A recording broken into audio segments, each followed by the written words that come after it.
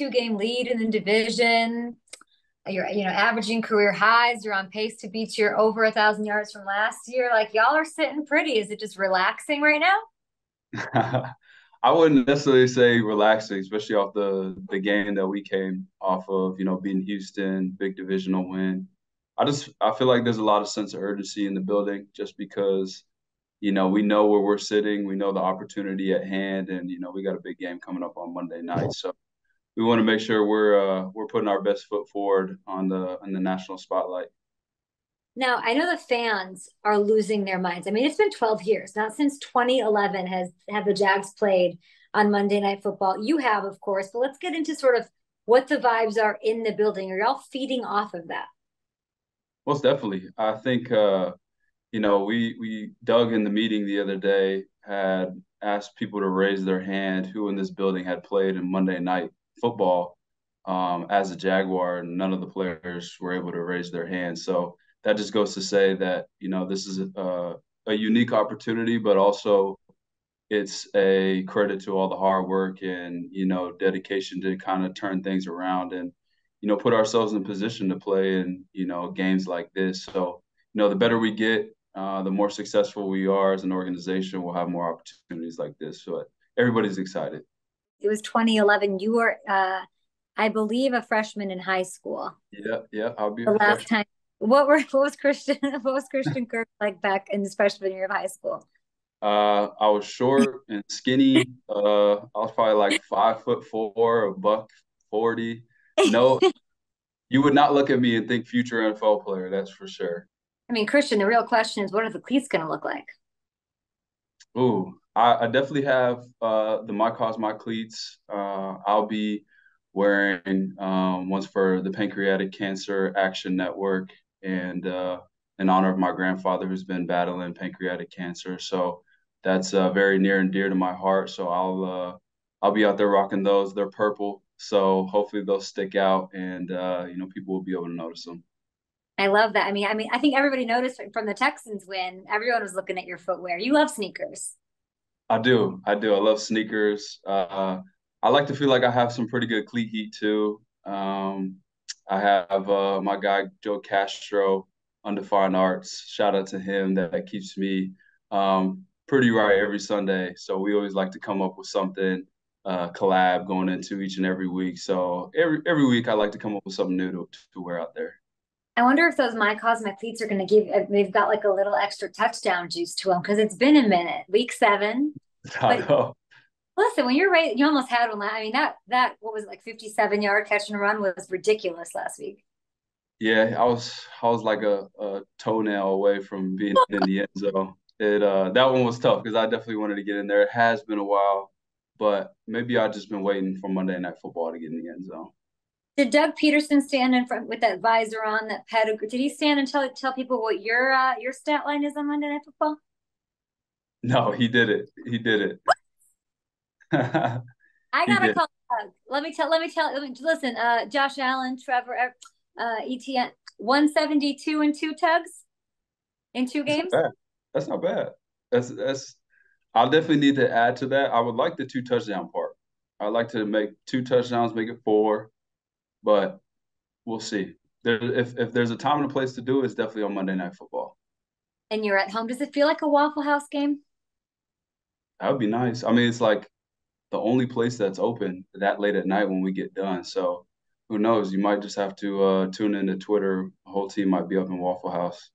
What kind of an opportunity does this present for Trevor Lawrence, who, of course, balling, y'all are crushing it, but it is a big stage.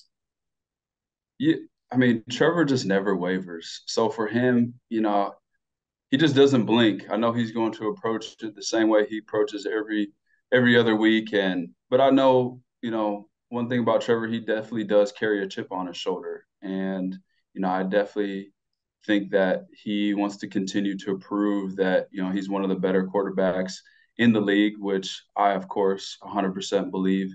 So uh, he's going to be ready to go. And, and, you know, if he plays anywhere close to how he played last week, yeah, I, I definitely think that, you know, he's going to have a successful night do you share that bond with Trevor? Because you're saying he's got a chip on the shoulder. Is that part of what gives you guys some chemistry?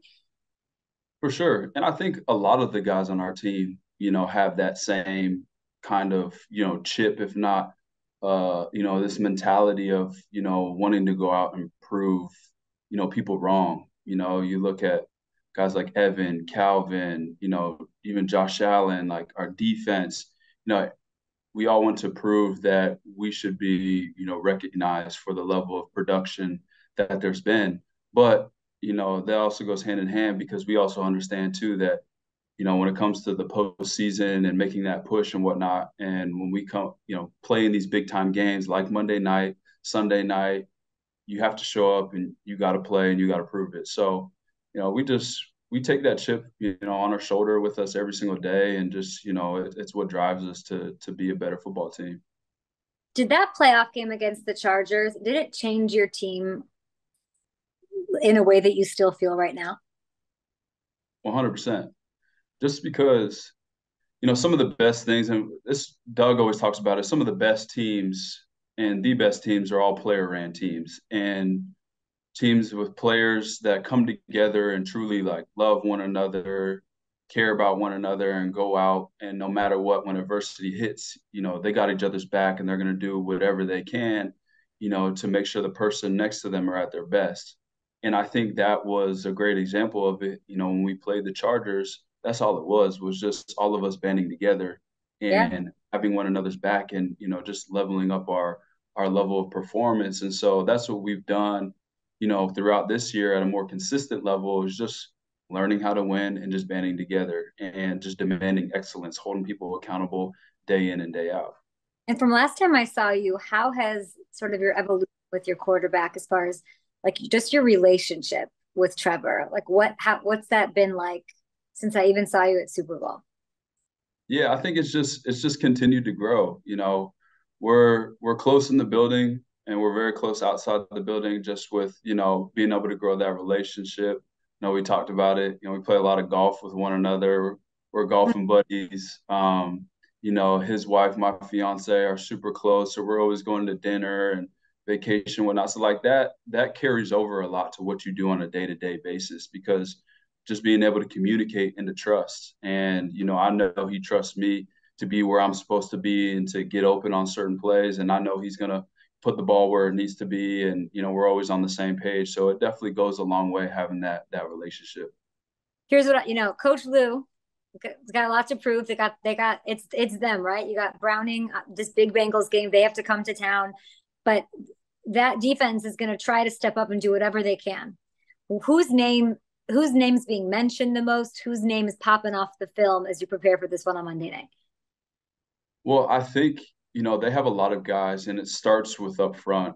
You know, Hendrickson, the guys in the interior, and then you know their linebackers, Mike Hilton, the nickel, who's able to he does mm-hmm. a really good job of being able to disguise his blitzes and you know, they do a lot with him. And so, yeah, they might be a little younger um, on the back end, but, you know, they're competitive. They play with a lot of swagger and they make plays. And, you know, that's one of the things that, that j- jumps off the film, you know, for me when I watch them. So uh, we definitely got to be ready. And they're going to be coming in here, you know, trying to prove a point.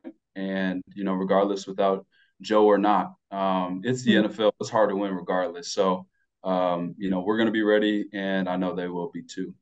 Cam Taylor Britt breakout years. He is his name being mentioned this week in that uh, those rooms.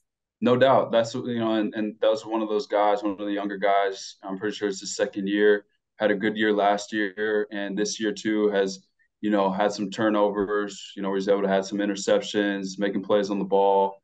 Um, and got like I said, a guy with just a high motor and is able to just make plays. And so like I said, when you go against guys like that, you have to be on your A game. You have to be in the right spots at the right time and make the play when it comes to you. Um, and then you know, I got to ask you, do you have a defensive player of the year in your locker room?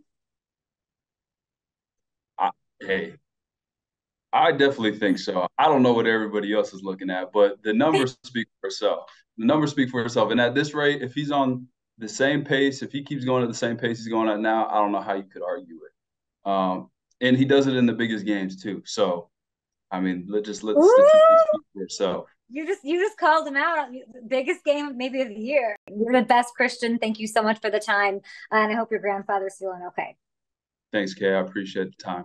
Hey, everybody, thank you so much for watching. Subscribe right here. Do it now for the latest from Up and Adams.